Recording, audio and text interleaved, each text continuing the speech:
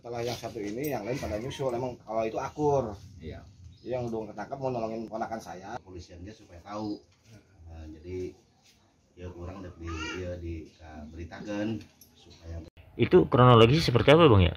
ya awalnya mah kalau saya itu nih nongkrong nih.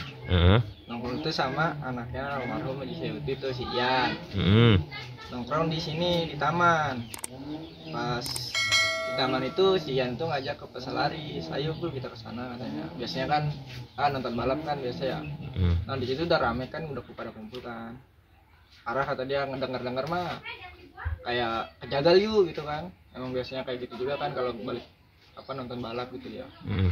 pas udah ke sono itu tuh arah SMP 12 di turunan di situ tiba-tiba ketemu sama orang ramean itu di- udah tiba-tiba diserang Hmm. gitu Nah itu kejadiannya setelah nonton balap apa setelah makan nasi jagal itu? pas mau berangkat Berangkat ke nasi jagal? iya Oh jadi kejadiannya di deket nasi jagal itu?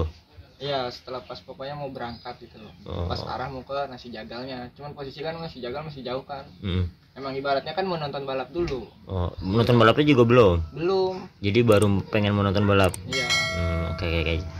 Jadi awalnya nonton balap, terus tiba-tiba diserang sama gangster gitu. iya. Itu lokasi jalannya di mana? posisi jalannya yang arah pokoknya SMP 12 turunan arahnya danau Itu masuknya di mana tuh? maksudnya tomang kayaknya Oh siap siap siap.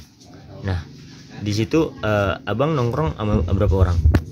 Kalau di situ nggak nongkrong sih bang, kan posisinya kan lagi Oh, lagi lewat. arah, Oh, lagi lewat. mau ke sono. Heeh. Jadi ada yang nabrak dulu gitu modusnya dia. Ada yang nabrak satu. Oh, nabrak di pas belakang. oh di belakang ditabraknya nah terus di ini apa? Hmm, Ardi itu ngeliat nggak itu ciri-ciri si Nggak sama sekali. itu? Dan gelap, gelap ya? Nggak sama sekali. Ini gelap. Tapi Iya. banyak. Banyak kan dia? Iya. kira-kira berapa orang? Kira-kira aja Kira-kira 10 sampai 12 13 motor. Hah? 10 sampai 13 motor. ya dari sananya geng mod Perkiraan ya. Ah, ah, perkiraan. bawa parang semua tuh Iya, enggak enggak enggak ngeliat bawa barang semua enggak tahu cuman ada yang bawa. Saat penyerangan itu abang sempat ngelawan gak bang? sempat ngelawan Heeh. cuman karena nggak kuat kan ya namanya tangan kosong kan Heeh. ya nggak bisa makanya saya lari juga di situ saya udah udah misah Itu pas penyerangan abang eh, lewat jadi diserang me- kayak gimana ya? Ibaratnya sampai jatuh atau iya sampai jatuh. Jadi sampai jatuh saya itu nolongin teman saya yang namanya Riansa dia jatuh soalnya Heeh. dia dia jatuh tuh nah saya turun dari motor Heeh. ya Iqbal turun kan saya kan Hmm. nama Iqbal tuh boncengannya kan turun pas di situ saya nggak kuat kan nah, udah saya naik. Di situ pas saya kena itu saya udah misal langsung dibawa ke sini ke bidan. Ya mah empat.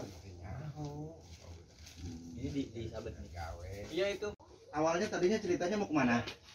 Kayak semacam nonton balap gitu lah. Nonton balap